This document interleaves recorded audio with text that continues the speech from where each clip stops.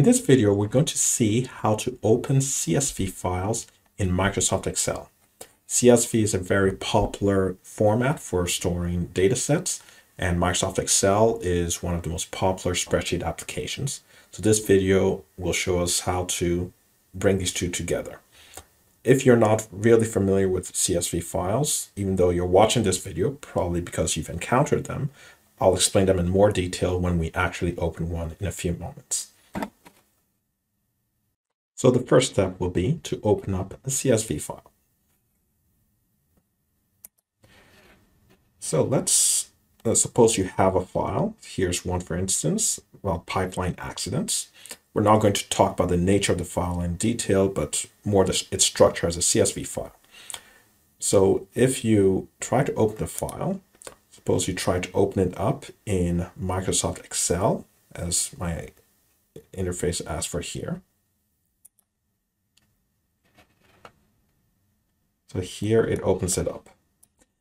Now, depending on your particular operating system and your language version of Excel, you might see what looks like a normal data set, or you might see something messy like what I have here.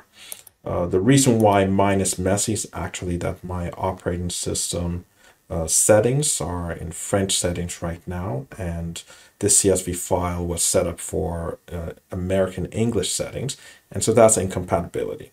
One of the main things this video will show is how to clean things up.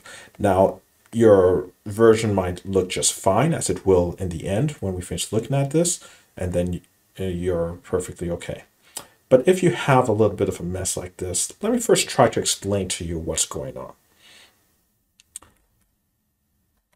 So if we go back to open the file, well, instead of opening it with Microsoft Excel, let's open it with a plain text editor. Uh, you can use Notepad on Windows or TextEdit on um, on Mac, but then make sure it's a text edit with plain text, not formatted text. But if you open it up, the plain text editor, then you will see a CSV file in its native format. It'll be something like this. So let me make this bigger.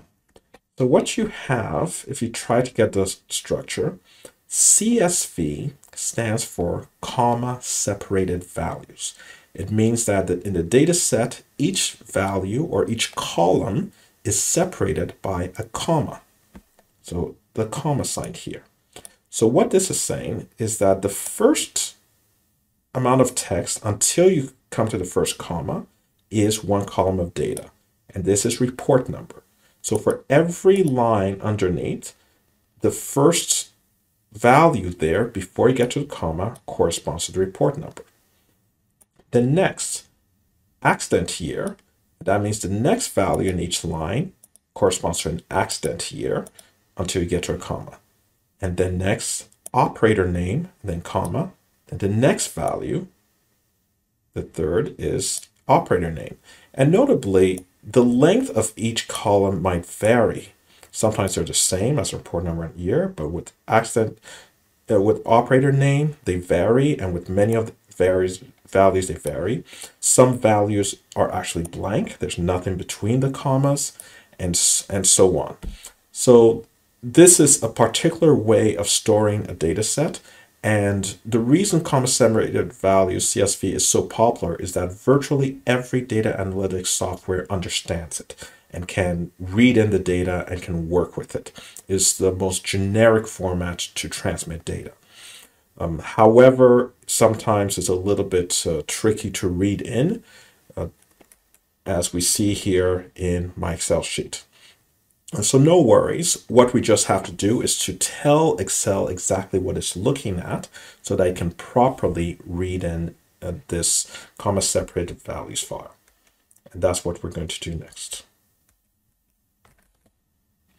Okay, so um, the instructions that we're about to follow are actually on the slides that accompany this video. So in the slides, we have these instructions. Uh, the first being to open the CSV file with Excel. So we've already opened the file in Excel and we saw this messy kind of format. So the instructions here, we just need to follow a step by step and I'll show them to you and then come back to the slides. So the first thing is you have to realize that what Excel read in looks like it put everything on all the sheets. But if you actually click on A1, you see that all the data is in column A. And if you actually click on column B, you see it's empty. So what Excel actually did is that it stuffed everything into the first column and didn't put anything in the subsequent columns. So we're going to tell Excel to go back and take all the values it put in column A and put it in the appropriate columns. To do that, you first select column A by clicking on the A, so that selects the entire column. Then in Excel, you go to the Data uh, tab in the ribbon, and then you look for this option, Text to Columns. And that will take this text and put it in its appropriate columns. So we click on that. So what I just did is on the slides. Step one, you left click on column A header select the entire column. Step two, click on the data tab. Step three, text to columns. Now note that what you, uh, if you have a different language version of Excel, the wording obviously would be in another language, but the pictures and the positions are the same, so try to follow that way. So in the convert text to columns wizard, the first step, you leave it as default delimited. Delimited means that there is a delimiter, that is there's some sort of character or indicator of when one column begins and when another starts. That's what a comma does. It delimits one column from another. We're not doing fixed width where each column is exactly the same width of text. So we then click next. Again, in the slides, you see that, what we just have there. Then here it asks what delimiter. We don't have a tab. We're using a comma as a delimiter. That's actually the problem. Excel was expecting a tab, but that's not what delimits. We're using commas to delimit. And once we click there, you can see Excel is able to right away tell where each column begins. And that's uh, the primary issue.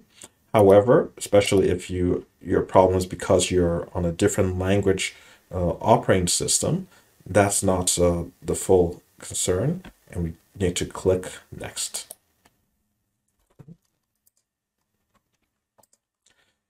So again, this is all on the slides, delimiter, Next, and then select comma, and then click on Next. Go to the next step. So in this next, in this step three, we need to click on the Advanced tab to deal with the number formats. So in my operating systems, the decimal separator is a comma. Uh, however, in Excel, uh, I'm sorry, in this particular data set that we're reading, and you have to know what it is, it is uses a period because it's an American data set. And you also need to check the thousands separator. Uh, sometimes it might be a dot or something, but you just need leave it blank. So a space character or blank. And so that is appropriate. It's mainly the decimal separator I have to change here. And then you click OK. And then you can click Finish. So again, on the slides, those instructions are there. You click one, you click Advanced. Two, make sure you have the decimal point and the space in appropriate places. Four, you press OK for the advanced text import settings. And five, you click Finish.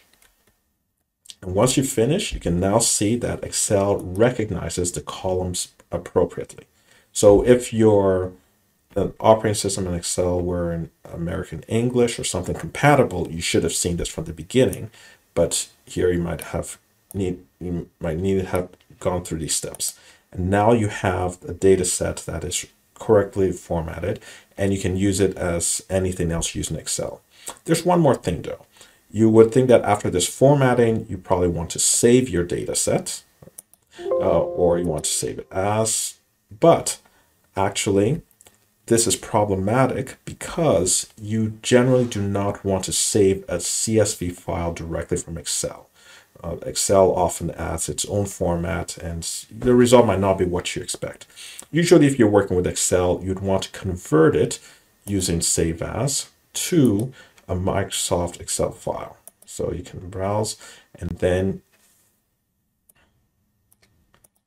can then go and then can save it as um, here. This is data set or whatever you want to call it and save as type.